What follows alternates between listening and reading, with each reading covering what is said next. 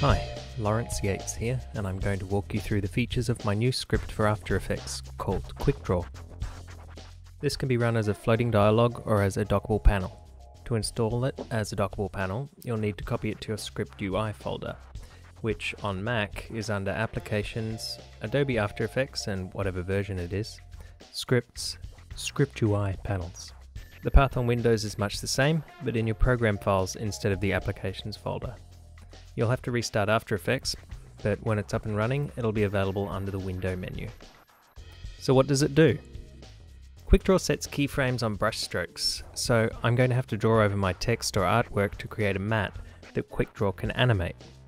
That part doesn't happen automatically, but I find this is a much faster process than drawing individual masks to use with say the generate stroke effect. It also gives me a lot more control with the timing of strokes, which I'll demonstrate now. First thing you should know about the paint effect in After Effects is that it won't let you draw on a text layer or a vector layer with the constant rasterize asterisk checked. It just won't open the layer viewer for layers of this type. So in this example, I'm going to pre-comp my text, select the paintbrush tool, and double click to start drawing on my pre-comp. First thing you'll notice is that my black text isn't showing against the black background. This is the background color of my composition, and I can change that in my comp settings. Now, because Photoshop documents are imported with a black background by default, and because I'm a little bit lazy, I added a white background button to change the background color from the QuickDraw panel. Check the paint panel to make sure the duration is set to constant. Play around with Write On option and you'll quickly see why I prefer to draw first and animate later. Depending on what I'm tracing and the paint color, I like to set my blend mode to luminosity or multiply. It doesn't make a difference to the final track matte, but can make it easier to see what you're tracing over at this stage. If you're using a Cintiq or graphics tablet, you can use the brush pressure to do calligraphic strokes, or set a constant size. I make sure my hardness and spacing settings are set to 100% and 1% so that my track matte doesn't have furry edges. So now it's a matter of tracing the text in the order that I want it to appear. There's flexibility to change that later, but it depends on how the strokes overlap as to whether they're going to look any good if used to reveal the text in a different sequence. Back to the composition viewer, and I can start animating the paint effect.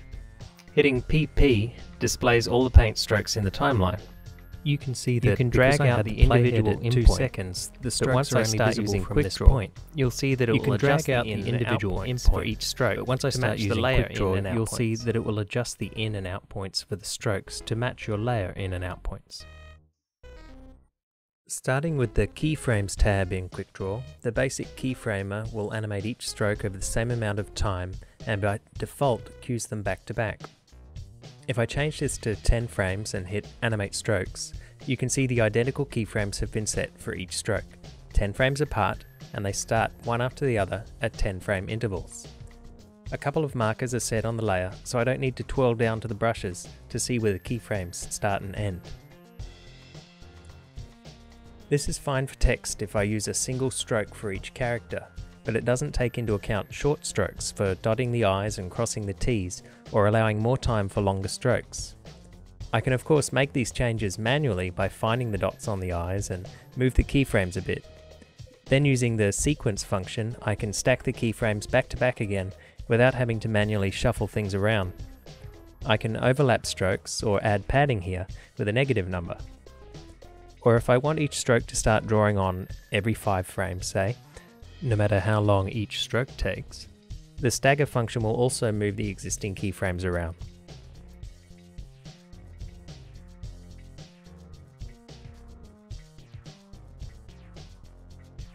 By default, keyframes are set from the in point of the layer, but you can check the first keyframe at playhead checkbox to set keyframes from anywhere on the timeline. The settings at the top of the panel apply for pretty much all the keyframe functions in QuickDraw. From the top, you can filter between brushes and erasers. This is based on the stroke name, so if I rename the strokes, this filter won't work. We've just covered the first keyframe at playhead. Selected strokes only. I can select strokes either in the timeline or from the layer viewer. Any keyframing functions will only run on the selected keyframes, which can help with timing for revealing portions of an image to match voiceover or music. Reverse stroke order does exactly that, sequencing the strokes from top to bottom, which is the reverse order of how they're drawn on. If I skip over to the buttons panel, this is where I can take my animated strokes and use them to reveal my source layer. The Layer Matte button will duplicate the layer, setting the paint effect to Paint on Transparent and clearing the paint effect from the original layer. The duplicate is then set as a track matte for the original, which defines the alpha, or visibility.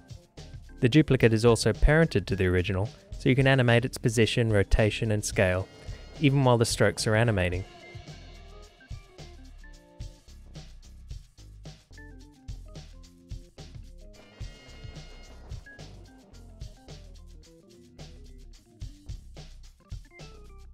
Alternatively, you can use the Effects Matte button to create a stack of effects on your layer that generates a Reveal Source effect. The effects have been renamed so that QuickDraw knows whether they've already been applied, but if you want to play around with this method, the Define Alpha effect uses Compound Arithmetic, and the Define RGB uses CC Composite. From the Buttons panel, I can also clear all the keyframes, leaving all the strokes at either 0%, or 100% drawn on. Use select keyframes to highlight the keyframes on the currently selected strokes, but you'll need selected strokes only selected as well. This is handy for grabbing a bunch of keyframes and shifting them around or scaling them on the timeline. 250 Stepping frames. back now to the Measured tab. The functions of this tab measure the length of each stroke and set the durations based on the stroke length. By default, stroke length are measured by the number of vertices on the path, but for a more accurate measurement, particularly for any strokes with snapped straight lines, the high accuracy setting will measure the total distances between the vertices in the path. I can specify that I want all these strokes to draw on over, say, 250 frames. The first pass takes the stroke measurements, and the second pass sets the keyframes over the 250 frames with individual durations proportionate to the stroke length. The stroke measurements are written into the stroke name, so that to run the same process and change the overall duration to say 300 frames, the strokes do not need to be measured again. The pace at which these strokes were drawn on is determined, and I can use this to then animate other strokes at the same speed. Changing to high accuracy mode will give a very different scale of pace, and as one is calculated based on the vertices over time and the other is stroke length over time, they're not interchangeable. To make setting the total duration quick and easy, I can move the timeline to where I want the strokes to start and hit in, and do the same for the out point, and then hit go. And that about covers it.